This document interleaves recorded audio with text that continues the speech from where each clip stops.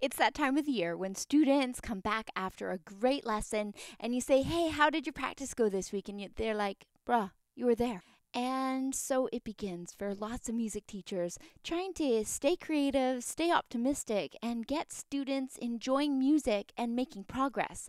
So, in this video, I thought I'd tell you about some of the ways that I love having a guilt free zone for music practice, but one that still has students seeing improvements week to week. So, one of the first things that I look at is supported practice.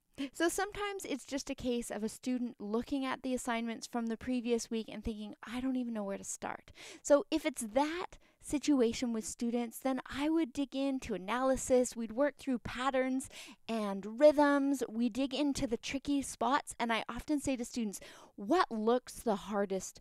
For you in this piece because sometimes I assume something might be tricky when actually it's something else that's really a stumbling block for the student. We also dive into unusual markings and unusual rhythms and learn a part of the song together so that they feel really confident to circle back to that. I've also added more listening into my time with students so that we know that they actually get to do it. So, listening to pieces and like creating their own ideas about it are often helpful. The other thing I did last year was actually support families in thinking about how to make space for music making because this is a time in history that there is a lot of entertainment available. There's a lot of things that come with ease to students, a lot of other activities that they're involved in so that music practice if it feels hard might not feel achievable. So we dove into the topic of atomic practice habits, and I loved utilizing James Clear's ideas from his book Atomic Habits. And I will link a video all about that conversation with Amanda Tero in the cards. You can take a look at that after this video. So, the next thing I might do more of uh, alongside a student that hasn't had the chance to practice is rote learning. And often just getting a piece in their fingers during lessons that is catchy and enjoyable and creates enjoyment in our time together is a really satisfying way to do music learning. Another thing that I've dove into, and I'll link some of the resources that I use for this, is improvising and improv duets. So you'll see behind me the Pattern Play series by Forrest and Akiko Kinney, and that's a resource all the time that I'll play one side and say, hey, let's use one of your scales and improvise together.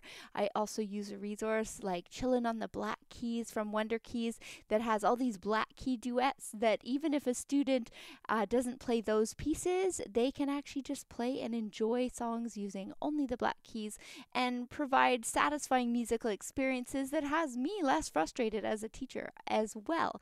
The next thing that I look at is rhythm. So I think rhythm is so important for music makers, and I love that we can take rhythm outside of the piece quite often and be really successful and make it easier to play music we love when we get back to the music we're playing. So that might look like the cup games, the cup rhythms from Wendy Stevens. It could look like lap tap clap resources from Andrea Dow. Could be body percussion. It could be just diving in with different instruments or on the piano and doing progressive rhythm exercises together. So that's something that I love at all ages for students and find that it removes barriers when we get to the pieces that they're trying to learn. The next thing I make sure I am attuned to is are we actually playing repertoire that students are excited to play? So that led me down a huge, exciting rabbit trail of studying music by contemporary creatives and composers, and then fi- helping students find what music really connected with them. The next thing I might do if a student showed up and hadn't had a chance to practice and we still wanted to make music is sometimes I'll take a pop favorite and say, hey, let's break down the chords to this. Let's have you arrange your own piece and learn some guitar chord symbols, and we'll do that right on the spot, right great together.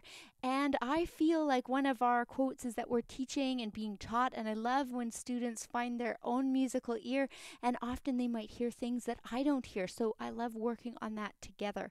The next thing is I love pulling out duets for sight reading and sometimes starting way below a student's level on a duet is a great way to sharpen up those sight reading skills and again remove barriers from their next time that they're at the piano, maybe trying to read a score, and it will feel more accessible if the sight reading aspect is boosted. The next thing that is so fun to do alongside students and was new for me as a teacher in the last maybe five years was composing together. And so that's something too that if a student is burnt out, they've maybe had a hard week and they don't even want to play when they get to you and they just need something fun and off of the usual, then I'll bring out some composing sometimes and we'll say, oh, okay, what mood are we feeling?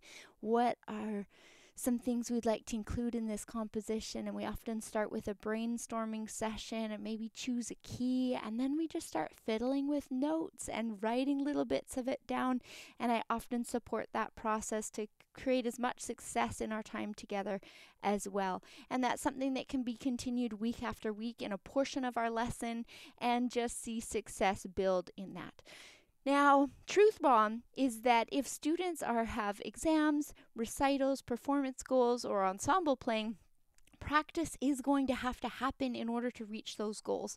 So sometimes, if those goals are really important to a student and a family, then we start breaking down the steps and micro deadlines that that's required by to make that successful and create success for them or we might reevaluate. Is that something that works into your schedule right now? And be really practical when we look at that aspect. Regardless I find that our time together is always super valuable, filled with musical enjoyment, and I love creating passive success whether practices happen that week or not. The last thing I love is adding some music theory and music history so we can get into chatting about historical composers or contemporary composers, listening to music together, and doing some music theory, which I find also supports when students get back to music learning. So I hope that gives just a few fun ideas if students show up at lessons and they haven't practiced. So let me know in the comments what you love to do if a student arrives and hasn't practiced. And if you're a student listening and you can know that I love to see you whether or not you've practiced or not. We'll see you in the next video.